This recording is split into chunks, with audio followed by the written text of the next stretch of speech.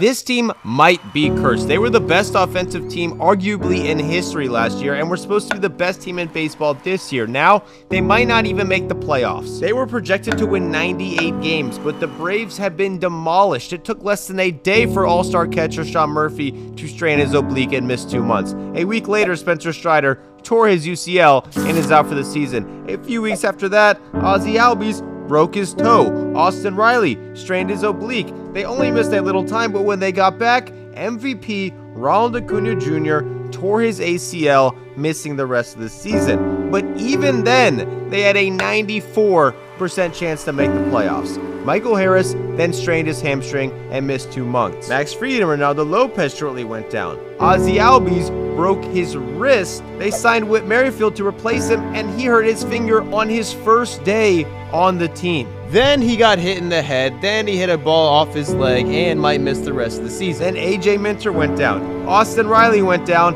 and both are going to miss the rest of the regular season. According to preseason projections, these injuries have cost them 15 wins. That's the difference between being the fourth best team in the league to being the 10th best team in the league, which they currently are right now. At one point, they had a 99% chance to make the playoffs, but right now, they currently aren't in the playoffs, right behind the Mets, the Diamondbacks, and the Padres for the last wildcard spot. According to Fangraphs, they still have a 61% chance to make it, just above the Mets. But do you think the Braves can make the playoffs even with these injuries?